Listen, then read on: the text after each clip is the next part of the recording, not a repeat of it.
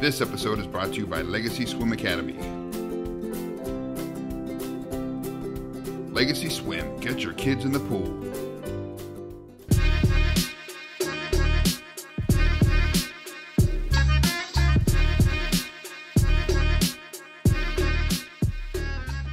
Q-Tip time everyone, it's me Hamad Al-Amari aka The Qatari Guy now I'm back here again with another episode of Q-Tips. Today, I'm going to be talking about the most dangerous thing in the world.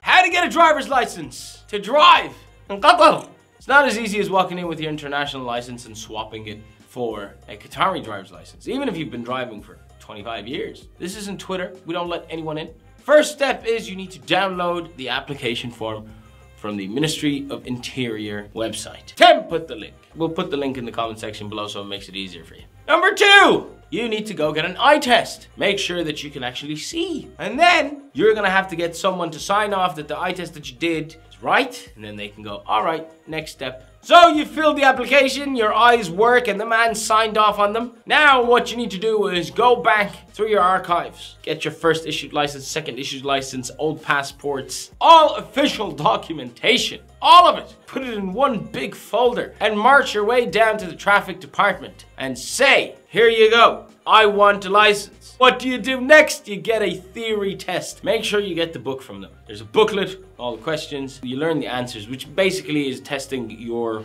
ability to memorize things. Don't use the app. It hasn't been updated. It's not as quick and it's not as efficient as memorizing the book. You're scheduled for your test. You go and answer and then you pass. So now you've done your written test. You have done all of this. You still haven't touched the car.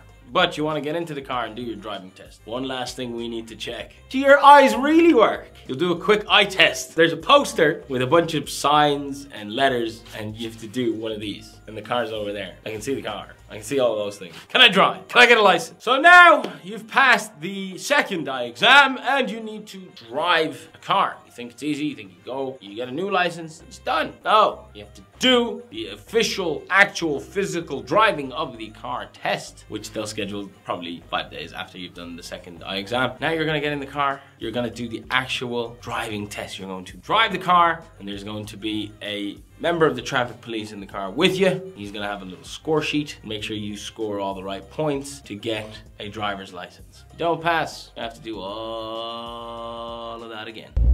How am I doing? Did I pass my test? Finish! Out!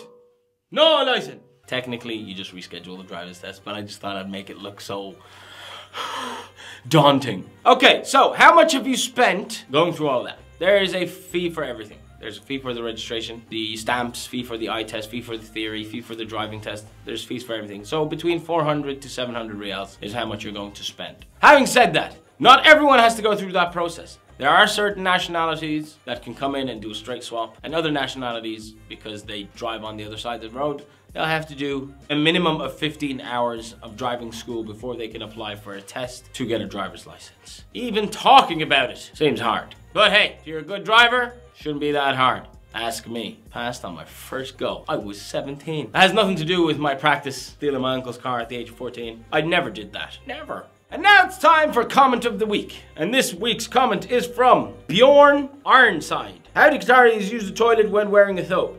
Now, see, the thing is, I knew that it would be me who was chosen to answer comments like this. But Bjorn, use your imagination, buddy. What would be the easiest way, huh? in the nude.